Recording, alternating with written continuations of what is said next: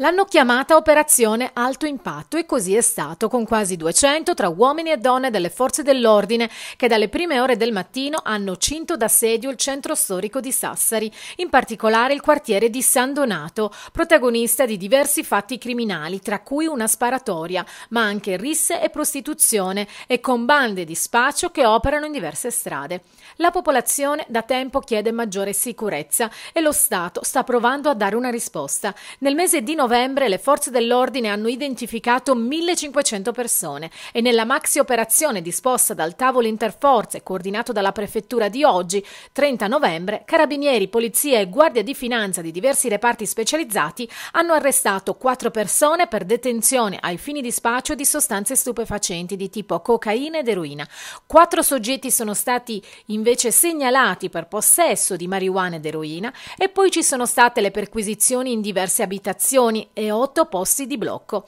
42 le auto controllate e 124 le persone identificate, tra cui numerosi stranieri. Dalla prefettura fanno sapere che l'operazione straordinaria di controllo è stata gradita dalla popolazione.